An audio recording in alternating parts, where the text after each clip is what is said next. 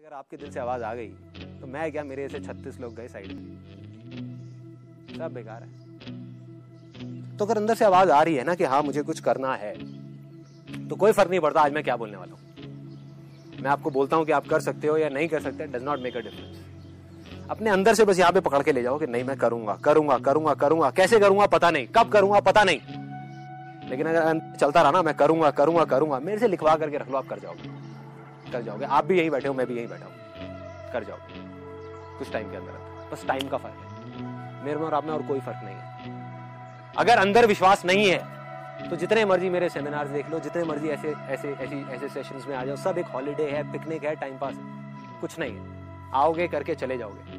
But अगर अंदर से है, यहाँ पर, कि नहीं, मैं कुछ ना कुछ अगर नहीं पता ना कि मैं क्या करूँगा। कई लोगों को ये कंफ्यूजन है। कोई बात नहीं यार, मुझे भी नहीं पता था। बस इतना सा होना चाहिए अपने ऊपर भरोसा कि मैं कुछ ना कुछ तो कर जाऊँगा। इतना ही बहुत है। मैं कुछ ना कुछ अच्छा कर जाऊँगा। मैं कुछ ना कुछ तो ढंग का कर ही लूँगा अपनी लाइफ के साथ में। इतना मुझे भरोसा है। चाहे कितनी भी मुश्किलें आ जाए, कितनी भी प्रॉब्लम्स आ जाए, दुनिया मुझे कुछ भी बोलती रहे, ये संदीप महेश्वरी कुछ भी बोलता रहे, कोई भी कुछ भी बोलता रहे, कोई फ़र्क नहीं पड़ता। मैं कुछ ना कुछ कर जाऊँगा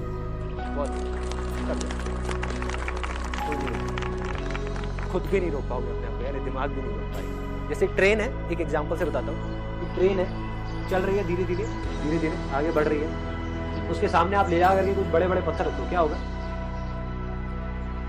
नहीं, अगर धीरे चल रही है मे भी बीस तीस की स्पीड पे बड़े बड़े से पत्थर रख दो, क्या होगा?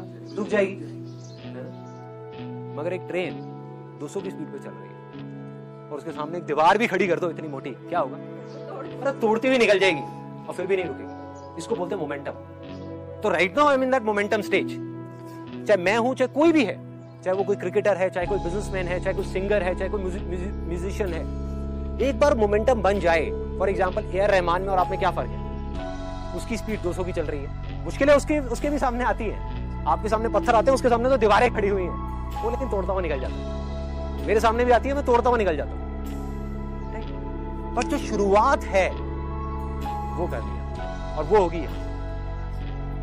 वो एक बार शुरुआत हो जाए ना, और शुरुआत में जैसे ही आपका दिमाग बार बार आकर के वो पत्थर सामने रखेगा, तब आकर के बड़े शांति से आपने अपने दिल की सुनी दिल से दिल से आगे निकलना दिल से आगे ऐसा कोई भी आदमी जो सक्सेसफुल हुआ है, क्या कोई और तरीका है कामयाब होने का?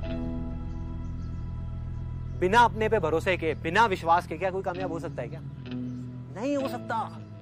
क्या सचिन तेंदुलकर से ज़्यादा टैलेंटेड लोग नहीं है क्या इंडिया में? नहीं है। उससे ज़्यादा प्रैक्टिस करने वाले लोग नहीं है। उससे बेटर टेक्निक वाले लोग नहीं है नहीं है। क्या फ़र्क है? उसमें और बाकी सब में? वो मानता था कि मैं कर जाऊँगा। जहाँ दूसरी तरफ़ कोई बंदा अपने आप को देख करके बोलेगा, उसकी हाइट है पाँच आठ, और देख करके बोलेगा, यार, मेरी हाइट पाँच आठ है और क्रिस गेल की सपोज़ साढ़े छह फीट इसलिए मैं ऐसा छक्का नहीं मार सकता। तेंदुलकर कहेगा, मेरी हाइट कम है, इसलिए मैं मार सकता हूँ। नहीं।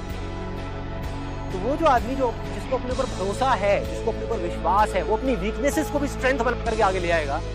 और जिसको अपने ऊपर भरोसा नहीं है जिसको बिलीफ नहीं है, वो अपनी स्ट्रेंथ को भी वीकनेसेस बना देगा। वो अपनी स्ट्रेंथ को भी वीकनेसेस बना देगा।